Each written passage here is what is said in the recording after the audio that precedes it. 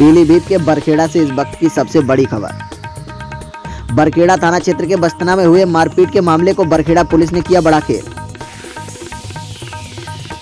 आपको बता दें कि बरखेड़ा थाना क्षेत्र के गाँव बस्तना में दबंगों ने घर में घुसकर वृद्ध महिला को बेरहमी से मारा पीटा। इतना ही नहीं, बचाने आई उसकी बहू ससुर को भी मारा पीटा। मारपीट के दौरान वृद्ध महिला की हालत गंभीर देखते हुए सीएससी बरखेड़ा के डॉक्टरों ने महिला को जिला अस्पताल रेफर कर दिया। वहीं पीड़ित महिला के परिजनों ने बताया कि बरखेड़ा पुलिस ने अपने मनमाने तरीके से एनसीआर दर्ज कर ली जबकि उसने अपने प्रार्थना पत्र में कुछ और ही लिखा था।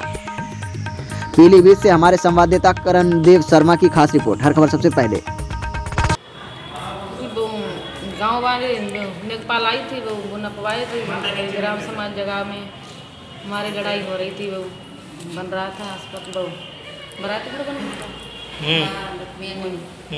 तो ये लोग जो लोग चले गए घर वाले हमारे हम लोग बाहर थे घर में उसके मान पाई थे मारो सबके ले आए हम लोग कौन कौन लोगों ने मारा? था गाँव वाले जो लोग ना बनन दे रहे उनकी जगह ग्राम समाज में है तो बाजे काम बन रहे हो तो बनन ना दे रहे क्या नाम है?